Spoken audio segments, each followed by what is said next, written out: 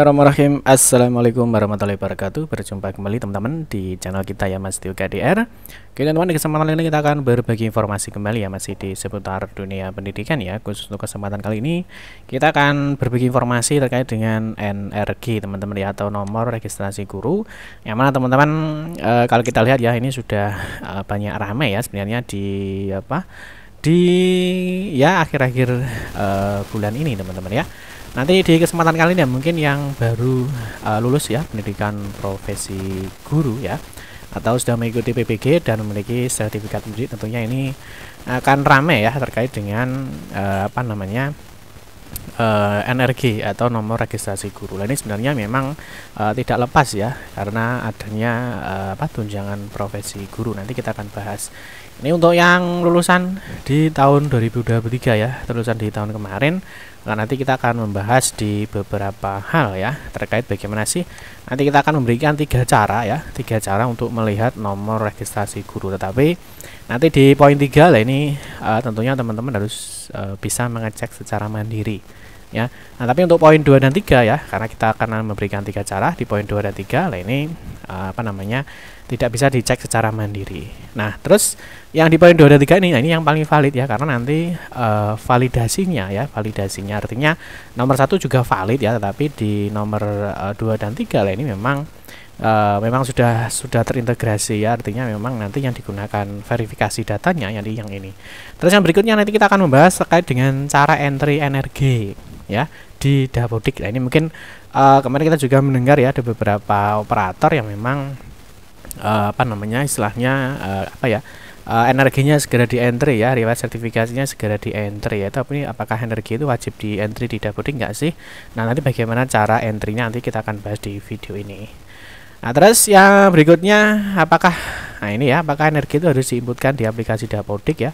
Ini juga ramai ya di dunia peroperatoran. Dan yang berikutnya kapan sih energi ini akan tampil di info GTK ya ini penting ya karena untuk verifikasi tunjangan profesi tentunya yang digunakan ya artinya uh, verifikasi datanya melalui info GTK nah mungkin nanti bagi teman-teman yang ingin uh, mendownload ya atau mungkin uh, ingin memiliki terkait dengan uh, ini ya kartu sertifikasi guru nanti kita akan sedikit uh, memberikan informasinya di akhir video ini ya. Nanti ini bukan resmi ya jadi artinya bukan uh, bukan aplikasi resmi ya tapi nanti nah ini bisa digunakan sebagai pengingat ya. Mungkin ada yang lupa NUPTK nya nomor peserta sertifikasi tahun sertifikasi bidang studi ya nomor registrasi guru dan sebagainya. Ya ini sebagai alat bantu saja nanti kita akan bahas teman-teman ya terkait dengan uh, energi ya bagaimana cara ceknya cara entry di dapodiknya ya tentu teman-teman silahkan simak video ini sampai dengan selesai Nah, tapi seperti biasa kita ingatkan kembali mungkin bagi kalian yang baru bergabung di channel ini atau mungkin baru melihat channel ini,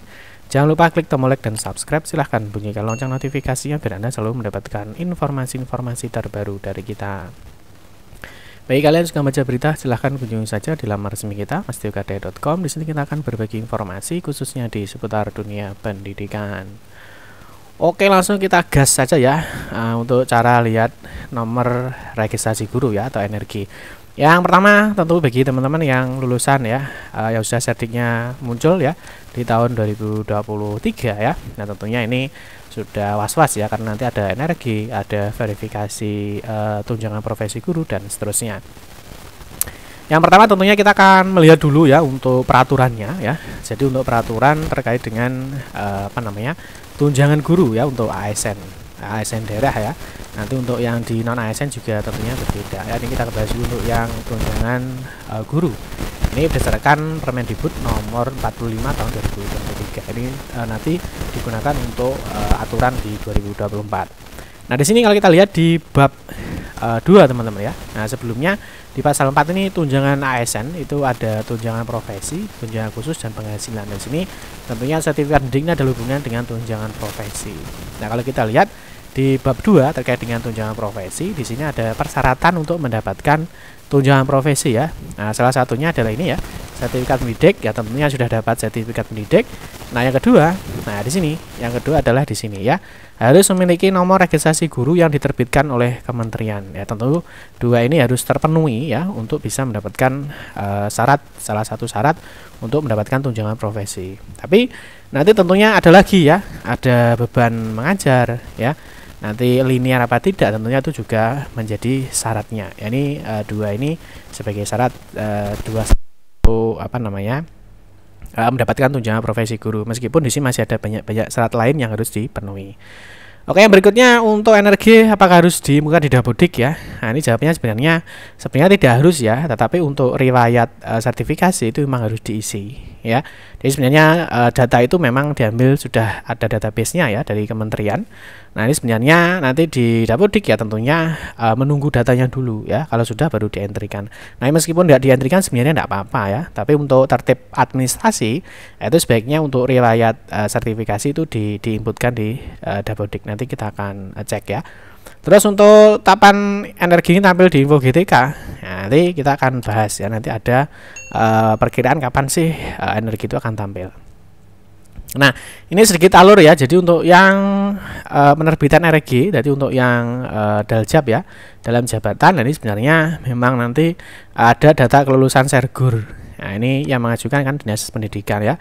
Setelah itu nanti datanya akan disinkronkan dengan SIMTUN-nya. Ya, ini mungkin teman-teman sudah paham ya untuk alurnya. Ini juga ada alur untuk yang uh, PBG prajabatan ya. Ini yang uh, prajabatan. Jadi ada daljab ada prajab. Kalau ini harus diajukan ya harus diajukan ke dinas pendidikan. Tapi kalau yang daljab tidak perlu mengajukan jadi sudah nanti otomatis ya otomatis di generate itu dari uh, sistem ya Nah, terus bagaimana cara melihat energi? Nah, ini tentu kita akan bahas di sini ya, cara melihat energinya itu seperti apa. Nah, ini ada tiga cara. Yang pertama, untuk melihat energi itu melalui akun ketua komunitas SIM PKB. Nah, ini kemarin yang sempat rame ya. Jadi ketuanya itu dicari-cari ya. Jadi ketuanya dicari-cari uh, ketua komunitas. Tapi ini pastikan bahwa kalian sudah harus sudah masuk di komunitasnya. Kalau belum masuk komunitas ya tidak bisa.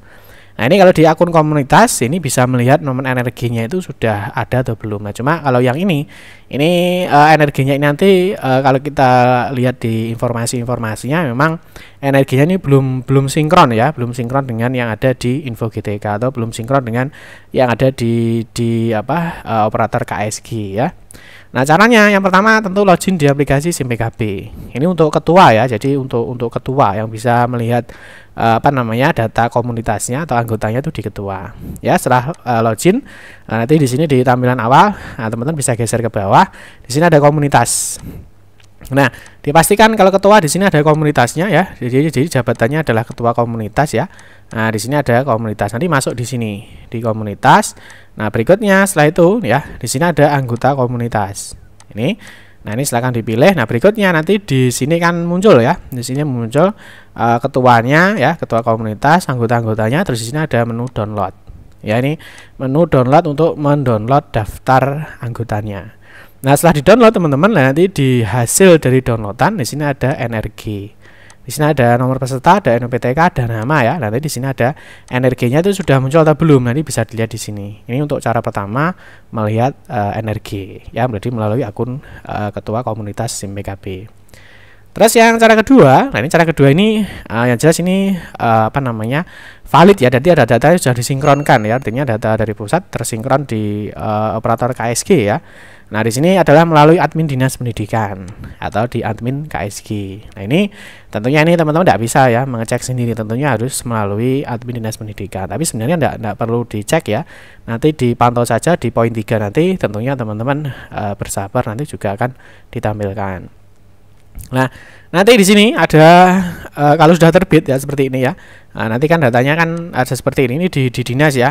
Nanti ada uh, eh, NUPTK energi, nomor peserta, nama bidang, nanti statusnya sudah terbit. Nah, kalau sudah seperti ini ya ini sudah uh, apa? Istilahnya sudah valid ya. Artinya sudah valid, sudah data sudah tersinkron ya antara di info GTK, di data KSG dan seterusnya. Nah, nanti di sini teman-teman bisa cetak di sini. Di sini ada menu cetaknya.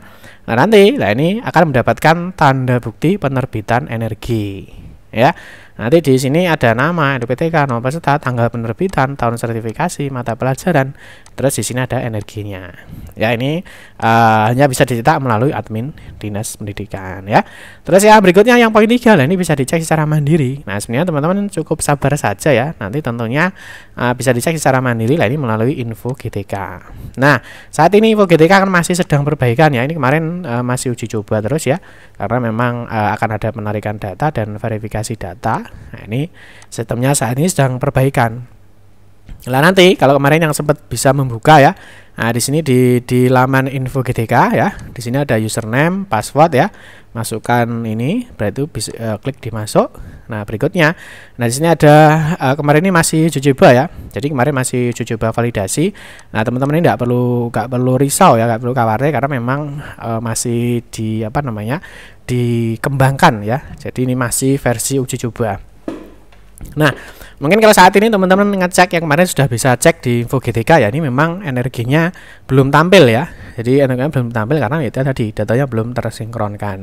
Nah, terus kalau yang sudah ya, mungkin yang sudah pernah uh, sertifikasi nanti energinya ada di sini. Jadi di bawah profile ya, di sini ada uh, nomor energinya.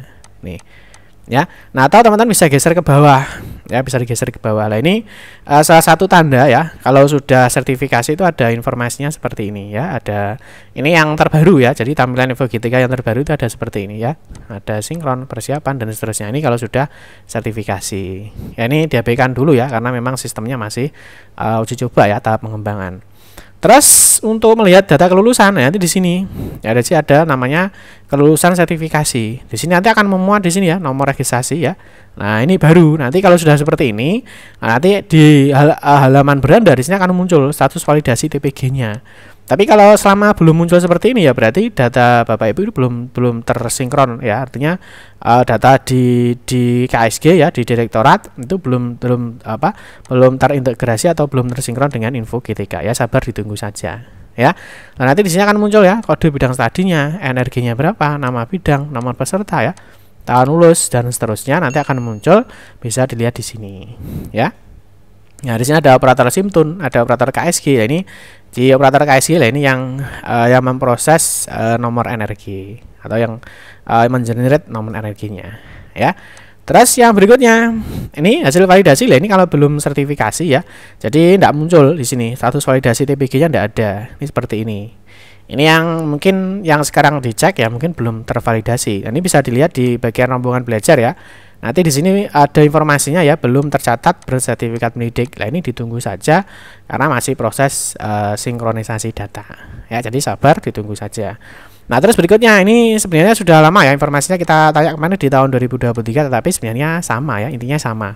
Jadi untuk energi ini silahkan dipantau di info GTK ya, mulai bulan Maret ya. Jadi sebenarnya uh, setiap tahun itu sama ya. Jadi uh, teman-teman nanti bisa apa bisa mengecek di sampai dimulai ini Maret Nah, kalau 15 Maret ya sampai 15 Maret 2024 kok belum muncul energinya di info GTK lah ini perlu ditanyakan ke operator uh, Dinas Pendidikan atau di operator KSG ya.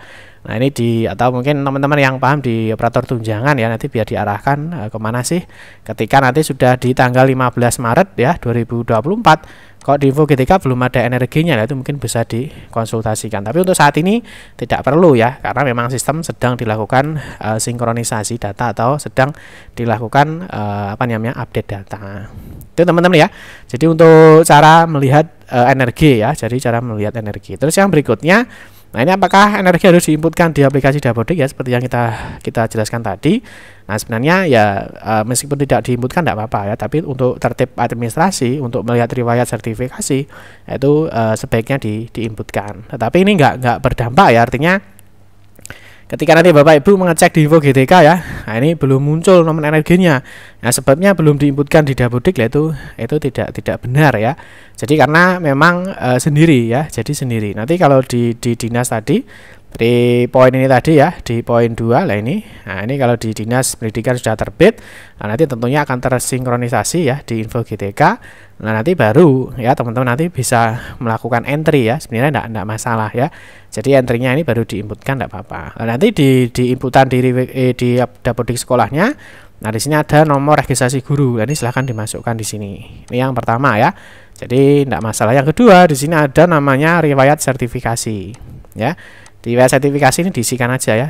Lembaga sertifikasi, bidang studi, jenis sertifikasi ya, tanggal mulai berlaku ya. Di sini ada nomor sertifikat, ada nomor registrasi ya, ada nomor registrasi, ada nomor peserta dan ada kualifikasi. Ini silahkan diisikan ya. Jadi ini meskipun tidak diisi ya NRB tetap terbit ya, karena memang sudah beda apa ya istilahnya uh, sudah ada server sendiri ya. Jadi yang menangani sudah ada servernya sendiri.